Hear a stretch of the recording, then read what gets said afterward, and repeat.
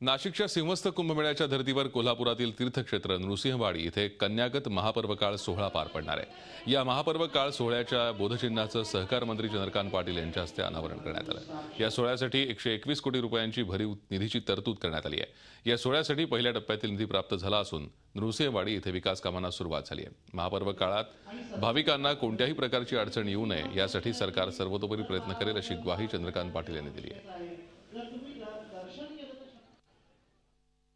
जेवढी म्हणून विकासाची कामं आहेत काही घाट बांधण्याचे आहेत काही रस्ते बांधण्याचे आहेत काही भक्त निवास बांधण्याचे आहेत अशा सगळ्या कामांना मिळून एकशे एकवीस कोटी एकशे एकवीस कोटी रुपये माननीय मुख्यमंत्री महोदयाने मंजूर केलेले आहेत.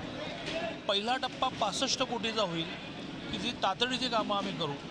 सतरा कोटी रुपयाचा निधी कलेक्टरांकडे ट्रान्सफरही झाला आणि त्यामुळे सगळ्या प्रकारच्या कामांची एस्टिमेट तयार होऊन टेंडर तयार होऊन वर्क ऑर्डर द्यायला सुरुवात झालेली आहे. आज त्यातल्या बहुतांश कामांचा पायाभरणीचा कार्यक्रम होईल. झी चोवीस तास रहा एक पाऊल पुढे.